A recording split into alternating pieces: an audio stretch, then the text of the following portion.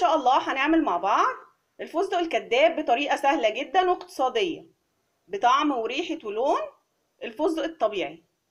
خليكم معايا عشان تشوفوا الطريقة للآخر. لو أول مرة تشوفوا القناة ما تنسوش تعملوا subscribe و like و share للفيديوهات.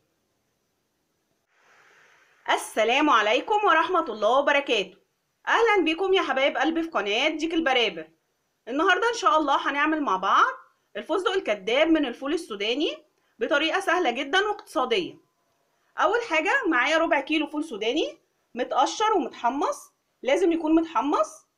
أول حاجة هطحنه طحنة خفيفة في مطحنة الخلاط لحد ما يبقى مجروش مش عايزاه مطحون ناعم. طحنت السوداني يا دوبك بس عطيته لفة في المطحنة بتاعت الخلاط. بقى مطحون خشن مجروش زي ما أنتوا شايفين مش عايزاه ناعم. معايا لون أخضر جل غذائي وريحة الفستق. هجيب معلقتين كبار مية معلقتين بس وهنزل فيهم ريحة الفستق.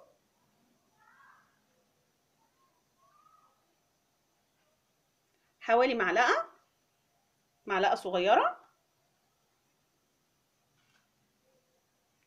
وهنزل اللون وأقلبهم مع بعض.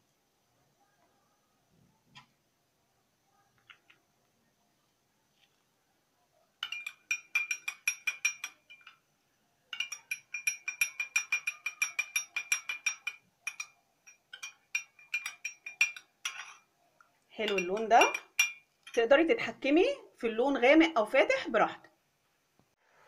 هنزل باللون وريحة الفستق على السوداني وهقلب.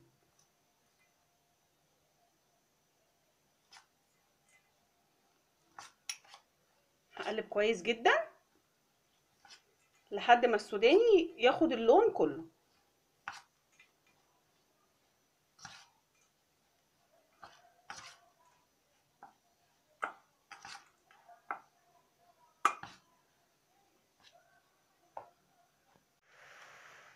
قلبت السوداني لحد ما أخد اللون كله.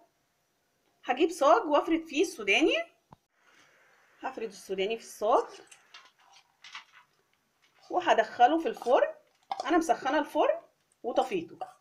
هسيبه ينشف في الفرن عشان ما يبقاش منجي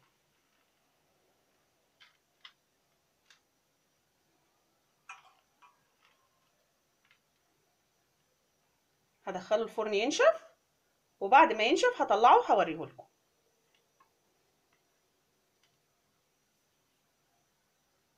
اهو يا حبايب قلبي الفستق الكداب بعد ما طلع من الفرن سبته في الفرن عشر دقايق لحد ما نشف خالص زي ما أنتم شايفين. هنحتفظ بيه في برطمان هيعيش معانا فترة طويلة. لو عجبتكم طريقة عمل الفستق الكداب ما تنسوش تعملوا لايك للفيديو واشتراك في قناة ديك البرابر. أشوفكم في فيديوهات تانية. سلام.